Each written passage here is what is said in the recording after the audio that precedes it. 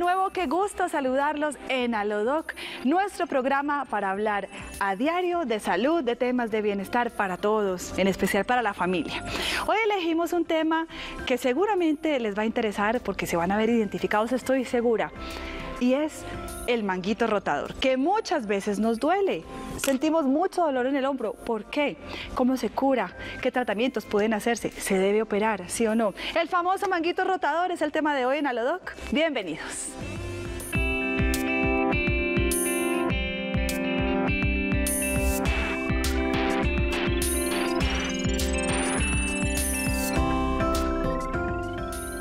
Y yo digo el famoso manguito rotador porque en muchas ocasiones se nos presenta este dolor tan intenso en el hombro y empezamos a hacer maromas y empezamos a moverlo y a sacudirlo y resulta que es por causa de muchos factores que inconscientemente estamos haciendo. Hoy vamos a ser un poco más conscientes y para aterrizar este tema invitamos al especialista, fisioterapeuta Sebastián Botero. Qué gusto tenerlo de nuevo con nosotros, doctor. Adelante y bienvenido. Muchas gracias. ¿Cómo, vamos? Excelente, excelente. Yo les decía hace unos minutos que hablo del famoso manquito rotador. Cuéntanos usted de manera simple y fácil y concreta qué es el famoso manguito rotador que compone nuestro hombro. Bueno, muchas gracias por la invitación, feliz de estar aquí de nuevo. Eh, y nuestra misión siempre es enseñar a la gente para prevenir y mejorar lo que ya está. Y bien dicho el famoso manguito rotador porque es una lesión muy común, un motivo de consulta que se ve mucho en todos nuestros consultorios y a nivel general en la parte ortopédica y fisioterapia. El manguito rotador son un conjunto de músculos, de cuatro músculos y tendones que está en toda la ubicación anatómica del hombro. Entonces por eso es tan doloroso, por eso es tan limitante, por eso se presenta tanto, porque el hombro es una, articulación triaxial, tiene tres planos de movimiento, es una de las articulaciones principales del cuerpo junto con la cadera y, sufre mucho desgaste, sufre mucha acción, mucha tensión, mucho, mucho abuso, por decirlo así, entonces por eso se inflama tanto. Exactamente esa es la pregunta. ¿Qué es lo que sucede que genera tanto dolor? ¿Inflamación? Claro que sí. Entonces, en un comienzo, en una etapa inicial, es una inflamación de alguno Puede ser uno, puede ser dos, puede ser tres o puede ser los cuatro, ¿cierto? En cada paciente es diferente, cada etapa es diferente, pero en conclusión, la, primera etapa es la inflamación de alguno de esos tendones. Eh, el manguito rotador está compuesto por cuatro músculos, que es el infraespinoso, el supraespinoso, el subescapular y el redondo menor. Son los nombres de los músculos para que alguna de las personas eh, se guíe un poquito como sobre esto. Y se puede inflamar el tendón o una de la parte de, de los vientres musculares de alguno de esos músculos.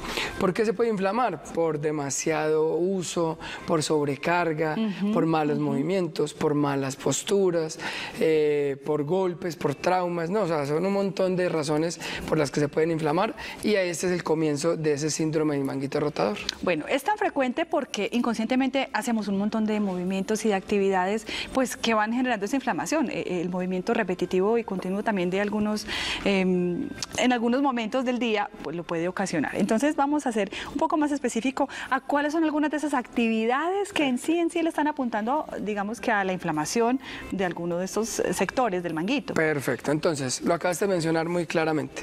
Se puede dar por movimientos repetitivos a nivel laboral o a nivel de casa.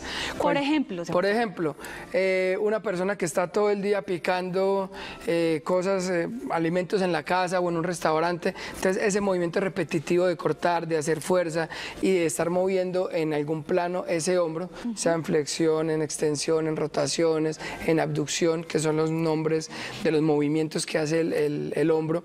Por ejemplo, eh, pintores que están haciendo movimientos de extensión del hombro hacia arriba, hacia abajo, eh, personas que trabajan en fábricas, en maquinaria y que están haciendo esos movimientos eh, repetitivos, continuos, personas que cargan cosas pesadas, por ejemplo, los que cargan bulto, los que cargan cemento, en las plazas de mercado que están siempre cargando un, bulto de, vegetales, de verduras, de papas y siempre están presionando el manguito rotador, el hombro.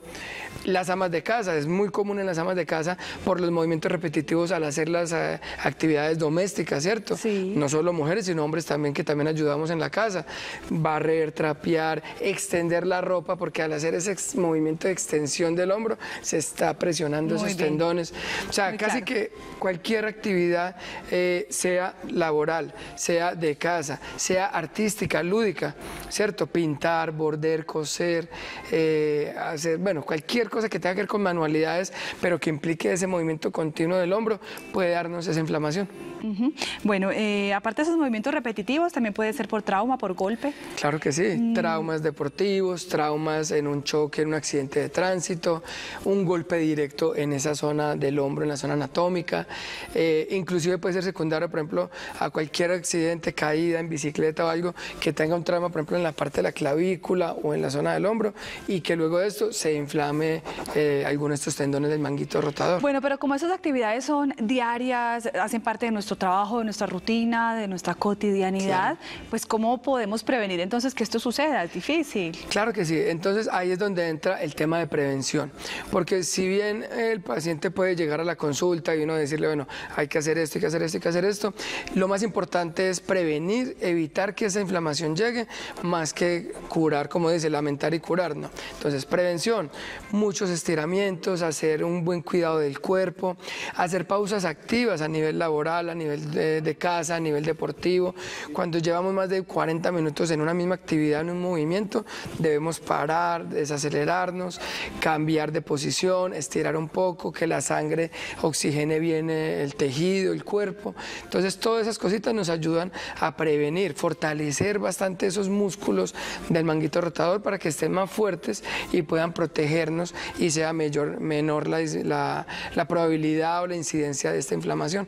La edad importa? Es decir, ¿hay un momento, digamos, de la vida donde eh, inevitablemente va a suceder? Pues bueno, realmente hay más probabilidad de que suceda a mayor edad, ¿cierto? Pero no es una seguridad que si tiene 70 años se le va a inflamar el manguito rotador, no, porque hay personas de edad avanzada que se cuidan mucho, que no hacen esos movimientos repetitivos y que nunca les ha dolido ni les va a doler o se van a inflamar el manguito rotador. Entonces, aunque sí tiene un poco que ver, hay más probabilidad, no es una seguridad que se vaya a inflamar por la edad, no. Bueno, mm, Sebastián, ese es un dolor que se agudiza generalmente en la noche. Mm, ¿A qué se debe? Bueno, que hay al final del día, pues, ¿qué siente el cuerpo? Claro que sí, bueno. Finalmente, casi que de esto podemos hablar que en cualquier tipo de dolor se va a agudizar o se puede agudizar en la noche. ¿Por qué? Por dos variables principales. Primero, en el día el paciente, la persona está en movimiento, está haciendo sus actividades, como dice la gente, los músculos están calientes y el cerebro está concentrado en otras actividades que no es el dolor, que no es la, la parte de la articulación. Cuando se llega a la casa y ya el paciente o la persona va a descansar, te rebaja su movilidad, entonces los músculos se empiezan a enfriar y el cerebro, como ya no está haciendo muchas actividades, se va a concentrar en ese dolor. Y segundo, también tiene que ver con que en la noche, en la madrugada, baja un poco la temperatura a nivel general, a nivel corporal y a nivel del ambiente y ese, ese frío hace que los nervios se pueden hacer un poquito más sensibles al dolor. No sé si has escuchado que la gente dice, no, eh, el médico me dijo que cuando hay invierno, cuando si hay un país de nieve, me vaya para tierra caliente, porque el frío me hace daño. Entonces el frío hace que de pronto se aumente esa sensibilidad al dolor y se siente mucho más. Bueno, incluso en la mañana también puede molestar porque inconscientemente dormimos sobre los hombros. Claro. Eh, pero también digamos que es algo que en la noche, pues, ¿quién lo controla? Ese, es un tema muy complicado de manejar porque mira, eh, a nivel teórico, a nivel de, de, los libros, siempre se ha dicho que la mejor posición para dormir es de medio ladito, como acurrucadito, posición fetal. Sí. Y necesariamente eso implica estar casi que apoyado sobre uno de los dos hombros, ¿cierto? Y si uno de los dos hombros está inflamado o hay una inflamación del manguito rotador, entonces necesariamente hay que dormir hacia el otro lado para cuidar ese hombro pero con mucha presión puede que el otro lado también se empiece a presionar. Entonces lo que nosotros le decimos al paciente es, trate de acomodarse en la forma que esté más cómoda, que le genere menos molestia, menos dolor. Finalmente en la noche uno va a voltear, se va a ir acomodando, va a hacer movimientos inconscientes. Entonces lo que, lo que más cómodo esté, mientras que vamos mejorando, quitando ese dolor. Y si no está, pues obviamente tratar de ir cambiando para prevenir esa presión constante sobre uno de los dos lados. De pronto también una de las recomendaciones sería una buena almohada, que sea un poco más grande para no hacer la fuerza sobre el hombro. Claro que sí. Ahí entran, ahí entran muchas variables que se pueden manejar desde la consulta médica, desde la consulta de fisioterapia, y son unos buenos colchones, unas buenas almohadas. Un colchón debe ser un colchón eh, duro, semiduro, porque si es demasiado blando, entonces no va a tener soporte para mi cuerpo, para mi columna. Una buena almohada debe ser una almohada que más o menos mide una cuarta desde el huesito que está detrás de mi oreja hasta tocar el hombro, ¿cierto? Que más o menos es una cuartica. Eh, y que sea de un material que soporte, que no, esas famosas almohadas de plumas, de no sé qué, que son muy gorditas, muy buenas, pero apenas se acuesta uno, se aplastan todas, no son buenas porque no tienen soporte para mi cabeza. La cabeza de una persona más o menos puede pesar entre 5 y 7 kilos. Entonces imagínate ese peso en una almohada que no tenga ningún soporte, que sean plumas, que sea cualquier espuma, que no sea, eh, que tenga una buena densidad, no va a soportar. Entonces la idea es que sea una buena almohada, que tenga una buena densidad, esta altura y que cuando nos acostemos sea cómoda, pero vuelva a, su estado natural. Muy bien, vamos a revisar entonces algunas de las características claro que sí. de esta dolencia a causa del manguito rotador. Comenzamos. Eh, ¿Las agudas son producto de un trauma en el hombro? Sí, seguramente que sí. Cuando la inflamación es crónica y aguda, pues es porque por lo general ha ocurrido un tipo de accidente de este tipo. Claro que sí. Entonces siempre vamos a llamar agudo cuando es el principio del dolor. Pero cuando ya eso se vuelve después de meses que no hay mejoría, que no se quita, ya podemos hablar de que es crónico. Y obviamente eso tiene mucho que ver con el manejo inicial que se le dé a la lesión. Cuando hablamos de que es crónico también, entonces eh, este dolor, esta dolencia del manguito, rotador también se debe, al desgaste de las fibras del tendón y a su degeneración con la edad. Ya lo mencionamos anteriormente también. Entonces, con el paso de, los años también los tendones van perdiendo... Sí, se va desgastando, se va perdiendo fuerza, se va perdiendo firmeza. Por eso lo que hablábamos ahorita también, una de las formas de prevenir es fortalecer bastante esos músculos desde la juventud y no dejarlo de hacer así estemos en una edad eh, adulta ya y los estiramientos para que esa la calidad de todos esos tejidos siempre esté muy saludable. Puede ocurrir muchas veces eh, una tendinitis precisamente del manguito rotador, que es esa irritación en el tendón y no necesariamente que haya una ruptura. Claro, total.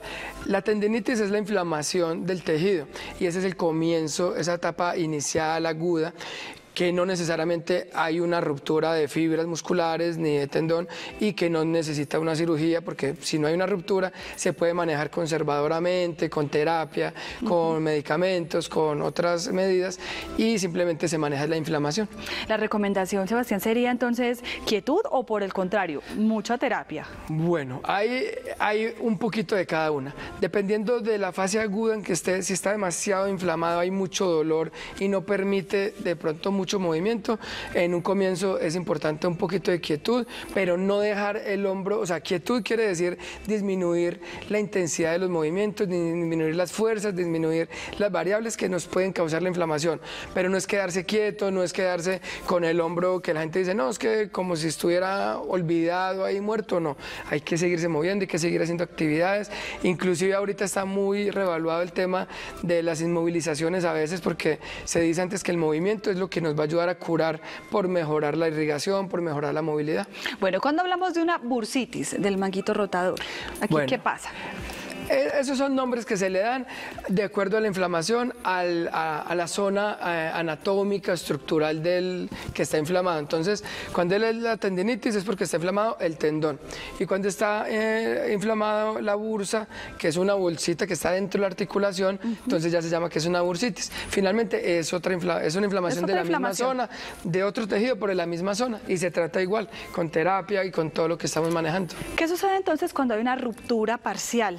Ahí sí entonces ya entran otros elementos a ser parte de la terapia. Claro que sí, entonces ya cuando hay una ruptura, dependiendo del porcentaje del tendón que, se, que está roto, puede ser el 50, puede ser el 70, el 80% del tendón, que estas rupturas ya normalmente sí son por una mala fuerza, por un golpe contundente, por un accidente, algo ya más traumático, entonces ahí se hace todo lo que es posible para evitar una cirugía, con fisioterapia, con tratamiento con láser, con todo lo que tenemos de tecnología, cámara hiperbárica, todo lo que se puede hacer, plasma rico en plaquetas, para evitar. No, ahorita estamos muy conservadores y lo que se puede evitar una cirugía se va a tratar de hacer. Si hay que operar, pues ya como último recurso también se hará. Bueno, pues ya regresamos para seguir hablando de cuáles podrían ser esos posibles tratamientos ante la inflamación del manguito rotador. Estamos hablando hoy de este tema en Alodoc. Ya nos vemos.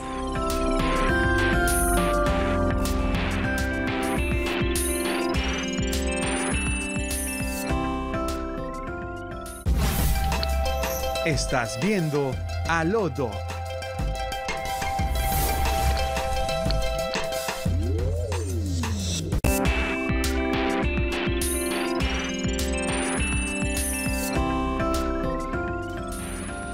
Manguito rotador, el tema que elegimos hoy en Alodoc. Estamos hablando con el especialista, el fisioterapeuta Sebastián Botero. Ya hemos analizado algunos factores mm, que puedan generar esta inflamación. Hablemos ahora sí de tratamiento. Entonces, en primer lugar, lo que recomiendan los especialistas, terapia. Claro que sí. Entonces, principal, que obviamente el diagnóstico y el seguimiento lo haya hecho un médico, pues que sea idóneo, eh, un ortopedista, un fisiatra, un deportólogo, dependiendo pues del manejo que se le dé, y seguramente él va a empezar mandando fisioterapia, de pronto algún medicamento para ayudar a disminuir la inflamación y el dolor si es demasiado, pero la terapia es fundamental. ¿Por qué? Porque en la terapia vamos a ayudar a quitar y a disminuir el dolor, a desinflamar todos esos tejidos con todos los tratamientos y tecnología nueva que tenemos, eh, láser, electroestimulación, ultrasonidos, eh, bueno, todo lo que tenemos a nuestro alcance. Eh, eso lo vamos a combinar con toda la parte física, movilidad, ahorita está muy de moda el término rehabilitación física funcional, dinámica funcional, y es por el mismo movimiento tratar de recuperar todo lo que se ha perdido. Entonces, movilidad, fuerza y todas esas cualidades físicas de la estabilidad del hombro. Y luego cuando ya pase el dolor y pase todas estas cualidades, si el paciente necesita algo más avanzado, por ejemplo, deportistas, que este eh, síndrome también da mucho en deportistas que tienen ese hombro en constante movimiento, por ejemplo, beisbolistas, personas que hacen lanzamientos, basquetbolistas, todo lo que tenga implica movimiento de hombro. Entonces, aparte de ya pasar esa etapa de dolor y de recuperación de cualidades físicas, hacemos un tema ya avanzado de manejo deportivo para volverlos a retornar a su actividad física, de su actividad deportiva. Entonces, eso es lo principal. También lo podemos complementar con hidroterapia, que es el manejo en piscina, muy importante. Eh, de hecho, es muy bueno porque el agua es un medio de flotación. Entonces, las personas cuando están dentro de una piscina pueden mover más libremente el hombro, con menos dolor, y el agua también va a generar una resistencia al movimiento. Entonces, también fortalecemos. Entonces, el agua es muy, la piscina y la hidroterapia es muy indicada en estos tratamientos también. Bueno, vamos a escuchar inquietudes que tienen los televidentes, las resolvemos y seguimos hablando. Vamos a la consulta.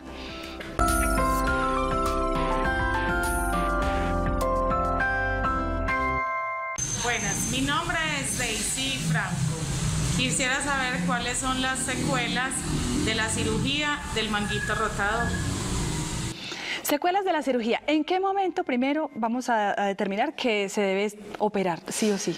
¿Y qué puede suceder? Claro que sí, importante. La determinación de la cirugía realmente la toma el ortopedista, ¿cierto? Pero se podemos decir casi como a grandes rasgos que se toma la decisión cuando hay uno o varios tendones ya rotos eh, con una ruptura total, que queda el hombro inestable, que por mucho que se trabaje en la fisioterapia y todo lo que se hace, eh, el hombro queda inestable o que queda con un dolor crónico que así se haya tratado de recuperar, el dolor es insoportable, entonces en esos casos se toma la decisión de una cirugía. O en el caso de deportistas que realmente necesitan tener sus eh, articulaciones, sus tejidos totalmente sanos para poder hacer su actividad deportiva profesional, pues de entrada se toma la decisión de una cirugía. ¿Pero podrían volver a romperse? ¿Se corre ese riesgo? Claro, siempre después de una cirugía o después de una reparación puede volver a romperse el mismo tendón en otra porción diferente porque esa porción ya queda muy, muy, muy fuerte, muy sana, o otro tendón diferente al que se rompió inicialmente del manguito rotador. ¿Por qué? Porque no se cuida la cirugía después del posoperatorio, porque así se cuide, siguen después de los meses o años haciendo malas, malas eh, posturas, malos movimientos, malas fuerzas, o por otro trauma diferente al inicial. Eh, si hablamos como de las consecuencias o, o no de las secuelas, porque las secuelas son como cosas negativas después de la cirugía, podemos hablar que normalmente va a haber un dolor, va a haber una inflamación después de la cirugía que va a ir mejorando con las semanas y con los meses. El tiempo de cicatrización normalmente son entre 6 y 8 semanas para que todos esos tejidos queden bien cicatrizados y no haya riesgo de otra ruptura. Pero después de la, del manejo con fisioterapia y con todo lo que hacemos, seguramente no va a quedar ningún dolor, no va a quedar ninguna limitación, la movilidad va a quedar en sus rangos normales de movimientos y la persona va a poder volver a hacer todas sus actividades de la vida cotidiana, peinarse, vestirse, bueno, todo lo que hace se puede hacer normalmente. Bien, seguimos resolviendo inquietudes de los televidentes, vamos a la consulta.